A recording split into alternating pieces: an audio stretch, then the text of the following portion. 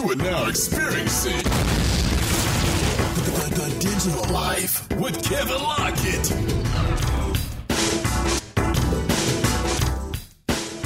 Hey everybody, welcome to the Digital Life. On today's show, I discuss photography with Chase McCurdy. Now, I came across Chase's work while watching the Travel Channel's web series, The Perfect Shot. I learned so much about shooting landscapes from Chase that I had to have him on this show. The amazing thing as you listen to our conversation is that you can really tell how passionate Chase is about photography.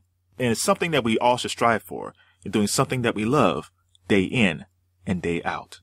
So without further ado, here's my conversation with ace photographer Chase McCurdy. Okay, we're talking to Chase McCurdy. How are you today? I'm good, Kevin. How uh, about yourself? I'm fine. You know, I was doing some research uh, on you, and I came across your Tumblr page. You had a tab that says Rule Number 76. So I clicked on it. it's like the most original thing I've ever seen on, a, on any type of website. Because I think, okay, it must be some type of tutorial thing. But no, only, the only thing it had on there was no excuses and play like a champion. So where did that? yeah. yeah, so yeah, where did that come from? Um, well, that's a that's a line from the movie Wedding Crashers um, that always stuck with me. They're going over, you know, some of the rules of wedding crashing, and I heard that, and it kind of stuck with me. Um, and then in terms of photography, it sticks because through the lessons I've learned in studying the craft and studying those greats that I admire, um, the circumstances don't matter, cameras don't matter, lenses don't matter. Um, all that matters is capturing what you're intending to capture. Before we go into cameras, Wedding Crashers might be the only film, maybe outside Pulp Fiction. Every time it's on TV, I just stop and watch it. Oh, you have to. It's a classic. You got to. Okay, so how did you get into photography? Oh man. Well, you know, like a lot of us, when I was younger, um, I messed around with skateboarders. Um, I used to be a skater, and I was never quite as good as the the guys I rode with. So at one point, I just started to film them and and photograph them, make little videos and and stuff like that. And then as you as I got a little older, um, you know, kind of went away for a bit. But uh you know, in college I started picking the camera back up and it it came to be the one thing that kind of just seemed natural. You know, if I wanted to escape from classwork or escape from studying, I would go take pictures. I would get up at sunrise, you know, to take pictures on campus. Um, but I would have a very hard time waking up for a 10 a.m. class. yeah, yeah, kind of yeah. thing. Um, so you know that in uh, when you start doing those things, you start to realize this is pretty important to you. And then one story that also that always holds true um, is my my father. His parents' house um, was robbed when they were younger, and one thing that was taken were a great deal of uh, family photo albums. So I think I only have one, maybe two pictures of my dad when he was in his teenage years. And uh-huh. subconsciously, I think that had a very big impact on on me and the importance of pictures in my life. Um, and I didn't really start to understand that until I got older. How did that affect your dad when he lost all those photos? Um, you know, it, it's rough. He's all he always told me that that's one of the, the things that that he hates most about having grown up and and not having much to share with with me about what he looked like. You know, at my age as I was growing up, or you know, if I was 13 or 14 and I wanted to compare myself to a picture of my dad, I didn't really have one to uh to, to do. So that was rough, and he always said it was it was very hard. Um, but at the end of the day, you still have him so the picture the picture is hard to not have, but lucky to have have the dad either way. That's true. Do you deal mainly with digital, or do you mess around with film as well? I I mean I I play with both. Um, digitally, I use a, a Canon, a 5D, um, a camera that I actually cannot stand taking out in public. Um, so my daily shooter is a simple like Nikon F FM that I got for really cheap at my local camera store uh, that I shoot black and white film just because it's much smaller and easier to, to take around. So how come you don't uh, like taking out your Canon during the day or in public? It's just far too big of a camera. Um, you know, as soon as I can afford it, ideally I'll be moving on to a uh, a Leica. You know, I, I don't. I, I enjoy the the technical aspects of the Canon and what it allows in terms of photo quality, but I just find when a camera is that large and intrusive, it really just takes a, away a lot from the experience of photographing um, everything from daily scenes to portraits of other people. Yeah, when we first started the conversation, you mentioned it doesn't matter what type of lens you have or what type of camera that you have. And I think a lot of people automatically think, well, I need to get a Canon 5D or I need to get a Rebel. And those are fine cameras, but you don't need to get those high-end cameras, especially if you don't know how to use them effectively. No, I mean you're you're right. You know, when I first um when I first moved to Los Angeles and and left my very cushy, very good job as a young 23 year old professional and just kind of gave it all up to hop on a friend's couch to be a photographer. You know, I really had no idea what I was doing. I ended up buying a 5D Mark III with savings because I thought, okay, you want to be a pro, then that's what you need. Um, so I fell under the same spell, you know, when I first would reach out to other photographers whose work I liked the first question would be like a lot of other amateurs. what camera are you using? What lens are you using? What kind of editing are you doing? And I was mm. really missing the bigger picture of photography as a as a craft. Uh, who are your mentors back then? Or were there a bunch of guys who just and ladies could be a lady who gave you a lot of great advice along the way? You know, there's one photographer in particular who has been a great influence to me. Um, his name is Lucas Passmore he is a fashion photographer here in Los Angeles. Um, he's really the only major mentor I've had that I've worked with for months and months, and he's the first photographer that really allowed me to work for him for free. Um, you know, he's highly influential, and we had these conversations. But a lot of this knowledge and things that I've picked up have just come from really studying, you know, everything about photography. I realized very quickly that I had no idea what I was doing, and I was at one point just another person picking up a camera, calling myself a photographer. Once I made that realization, I really took the time to step back and put myself through courses in photography, from everything from the history of the of the form to studying the masters to studying the technical aspects, to studying film, to looking at cinematography for their use of light things like that um, along the way. It's fascinating that you said I didn't know what I was doing, and I went back to study this. So, how long did it take for you when you went back to study this stuff when it finally started clicking in for you? You know, I, I don't have an exact amount of time. What I can tell you is that I it clicked that I was doing the right thing and that photography was the right thing for me when I started to read more of the the Cartier-Bresson and things that he said or things that uh, Helmut Newton would say when it comes to photography, or Nick Young would say um, in regards to you know the camera is not really has nothing to do with it. You know, when it comes to this is some a way to to tell a story or to capture true human emotion or to take an image in your head and make it happen in real life with the use of models and and clothing and style and or working with a designer to bring their vision to life. Those are the things that really um, gave me the click moment. Nothing to do with the technical side of photography gave me the click. Um, I only realized it when I knew that the space that I looked at it in an emotional sense was the way that people that I look up to to um, in photography also look at it. Yeah, I noticed that in that Travel Channel video because you know you, you guys were lining up a shot at Red Rock, and you said, "Well, let's try this look. Like, let's not go for the obvious." And is that what you try to do when you when you're taking your shots? You try to not to t- not take a traditional shot, or maybe try try to find something that other people don't see. Um, you know, it depends. Uh, a lot of times you, you don't want, you know, an obvious. You don't want something that just anyone can do but it's also challenging yourself. Like a lot of times, like in that situation, okay, that was the first shot we had, but you know what? Let's take a step back, and before we choose to take a shot, let's see what else there is. Maybe this first one was the best one. Maybe the second one is better.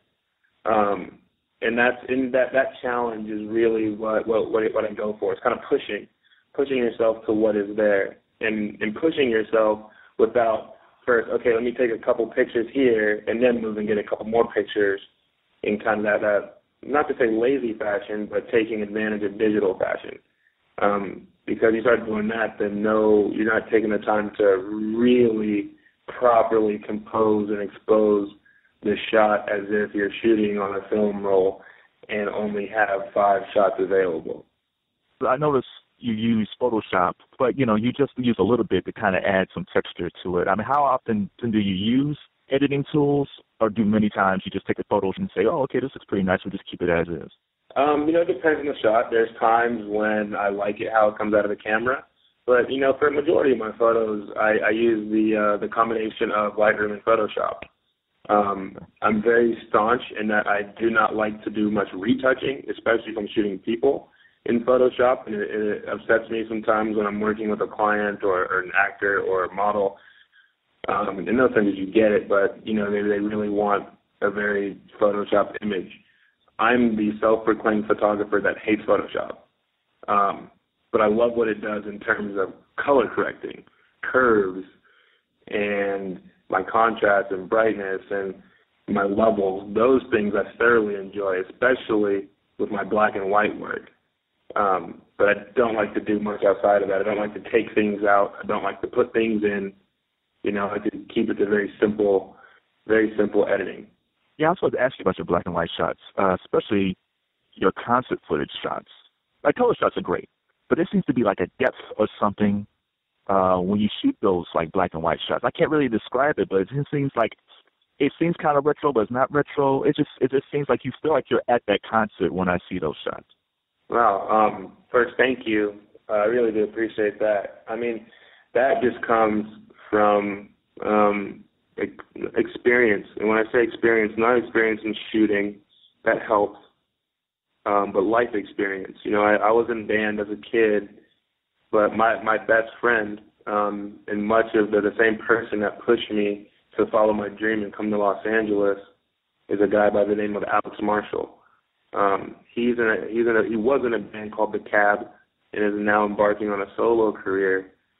But you know, we would go back to being kids, like 15 or 16 years old. I remember first seeing him start out working in garage band or playing his piano and taking pictures. Um, to now seeing him in actual recording studios or playing in arenas, you know, and what that taught me is the passion behind music, the deep conversations we have about the touring life and how hard it can really be to be a traveling and working and touring musician, understanding the blood, sweat, and tears that go into, you know, first making and recording that work and then to rehearsals. And then when an artist really is out there on stage um, completely vulnerable, sharing their their art, their passion, their innermost um, feelings on stage to thousands of people, you know, I think that really having that understanding and you know me wanting to capture that and wanting to give that make that image for the fans for the people that make it possible for the artist to do it and for me to capture that artist i think is really what allows that to come through you know i really honestly try to I tell musicians as long as they put their passions on stage, I don't have to do too much or press a button. What I would love to do, um, if just one time, is to tell the story of a, uh, a music tour, to be that photographer for an extended tour with that artist, that band, those roadies, um, those guitar techs, everyone those you know those tour managers everyone that has to come together to make a music tour successful i would love to be able to just document and tell that story of a uh of a full tour. I think that would be just one of the greatest experiences one one of the greatest honors that one could have as a photographer that seems to be a lost art because I don't think people really understand. Like the real story aren't really the videos. The real story is really behind the scenes how people are just by you know just how they are just sitting around talking. Like you know, I just saw a picture with like Mick Jagger and George Harrison and Billy Preston, just a casual shot. And I think if you did something like that, if more people did something like that, I think kind of gives you a sense of of having a, a bigger love for music. Because right now it just seems like it's just very consumer driven. It is, and you know, I and it just comes to getting to know those people, you know, those those faces, those names. Um, you know, a lot of times now, a lot of music photographers, they're very just concerned about who they shoot. Um, they'll take a bunch of pictures and hopefully they get a couple here and there. You know, what I don't see a lot of, I see a lot of photographers in the photo pits or on stage, is people stepping back and enjoying the music for a moment. You know, would you ever come across me shooting, especially at the Sayers Club, where I'm the house photographer? Um, like you'll see me maybe snap a picture here, snap a photo there, but I spend, you know, at least 30 seconds to a minute of each song that's being played, just kicking back and and feeling the vibe, listening to the lyrics, um, observing, looking at the drummer, looking at the bassist, looking at the guitarist, the the singer, and seeing what kind of little quirks they have, taking the time to really understand and appreciate those individuals who you're capturing. So I've never been to Los Angeles. I have friends who live out there, but from the photography standpoint, because there's so many photographers out there, how do you make yourself stand out? I mean, is, is social media a, a major part of that, or is it just maybe it's just you know you just put your work out there and and just knock on doors and hand out flyers? I mean, how does that work when you try to really make your mark as a photographer out there in LA? Um, I mean, a lot of hard work and just just practicing. You know, I I don't really I never really thought about trying to make myself stand out. Um, it really hit home when it came down to okay, well, here's what you can do. You can just take pictures and be like everyone else, or you can take the photos you want to take, edit the way you want to edit, do things that that you want to do that you're happy with, put them out there, and allow the rest to happen. Um, you know, a lot of hard work and faith. I put my time into studying the craft, um, into learning. You know, I don't go out and party. I don't um, spend too much time hanging out. I really don't have the most exciting of personal of a personal life because every moment that I have is dedicated to improving in some way. And you know that improvement comes in terms of watching documentaries on photographers or watching documentaries on music, um, or watching documentaries on the fashion industry and fashion designers, because that's the kind of photographer that I that I am and want to be is a music and fashion photographer. So I'm literally spending all of my time between those three genres, between learning and understanding all three of those. So those are, and I work during the week, a full time job. So um, it's just it's just the, the continued struggle to just improve. To know that I will do nothing but be a photographer. Know that nothing else is right but to be a photographer. And that that's pretty much how you start to I guess build a name or stand out. I really don't know any other any other way. No doubt. Is there a few documentaries that you could recommend for people who want to learn more about photography? Are there a few documentaries that you would uh, like to suggest? Oh, of course. Um, immediately off the top of my mind, um, In Darkness and Light. Uh, it's about Richard Avedon, one of um, the photographers I look up to the most. A lot of it because of one singular quote that I heard, among many others. But one thing that I, that he said that has particularly stuck to me, and um, you know, I have a white background. I have the person I'm photographing, and I have the thing that happens between us. Um, that stuck with me greatly. So, In Darkness and Light, and then Helmut by June. So this is a documentary of Helmut Newton, and it's all um, handheld camcorder footage that his wife June shot when they were together. And I liked that because it's a very personal look at his work and him as a person. You know, who are you going to be more open with other than the person you choose to, to be with for the rest of your life? And then Bill Cunningham, his recent documentary about his work and his appreciation for what he does and what, what he loves really also stuck with me. And that one be much because of it's not about money. He tried to refuse to take as much money as possible. He just was focused on doing what he wanted to do and what he was in photographing what he was interested in photographing and nothing more or less. Fantastic. So for people like myself, uh, who are amateur photographers, because I have my Android and my point and shoot Lumix camera. So for people like myself, what tips would you give beginners trying to learn how to be a photographer? you know, have fun. You know, uh, take a step back and don't get so engrossed in the picture itself.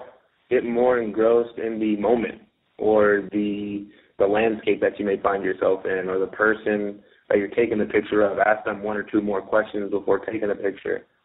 Um, you know, get fall in love with everything that is going to make that picture that picture. You know, there's a you have to remember like when you pick up your camera or phone to make an image of something, there's a reason why. There's something that went off in your mind to say, "Hey, I want to take a picture of that." Try to remember what that is before taking the shot, and then and then take the shot. And I think, if anything else, that connection that you have with the photo will make it your favorite each time, and it'll it'll come through in the picture. And uh, what types of apps or gadgets do you use on a regular basis?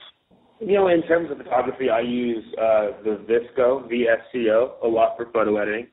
Um, I really enjoy how I can make my black and white iPhone pictures look um, with that app. You know, a lot of Instagram, which I will say I post a lot of pictures I take with my, you know, digital camera, my 5D on Instagram, but I thoroughly love Instagram for the simple fact that it makes me compose in the one by one square format, for lack of a better term, at this moment, or aspect, excuse me. You know, I, I think a squared image is very unique and very cool.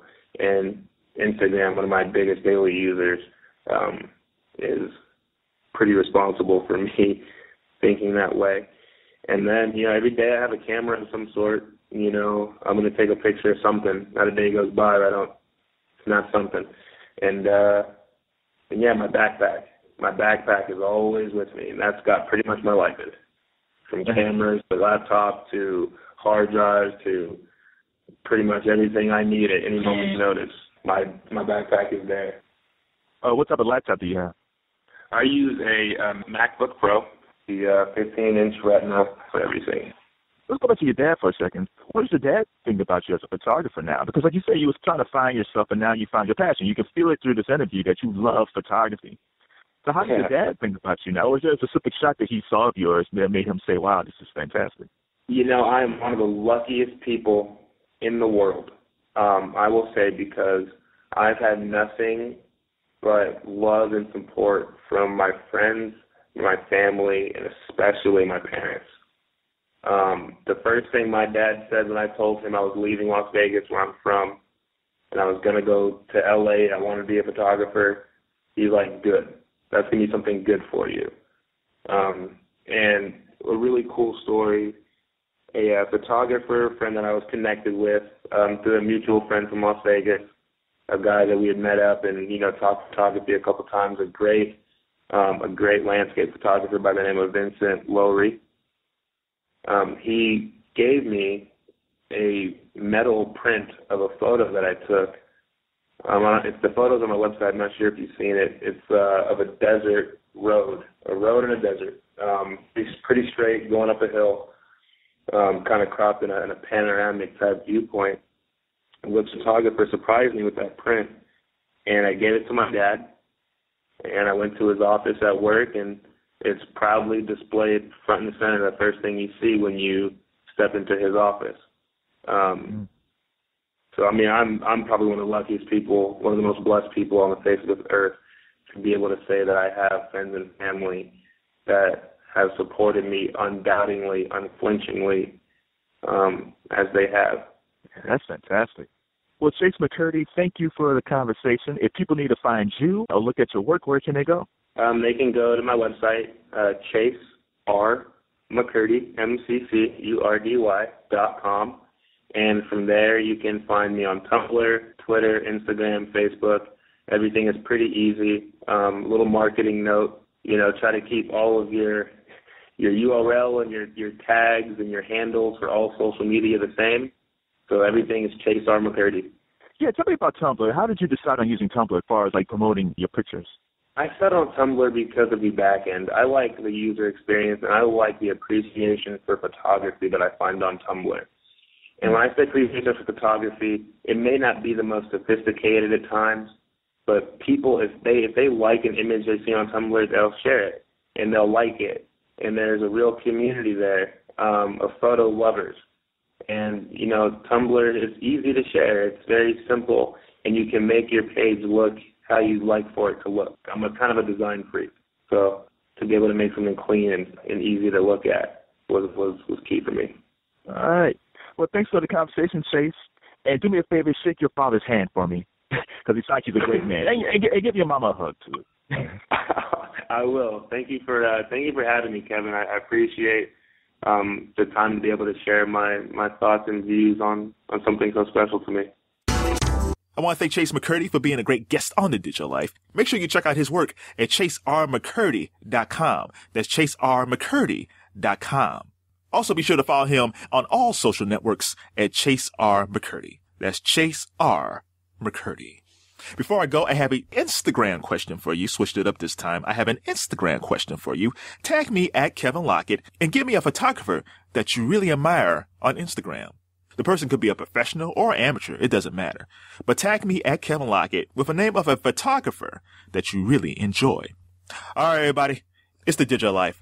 I'm Kevin Lockett and I'm out. The digital life with Kevin Lockett. Lockett. Lockett. Lockett. Lockett.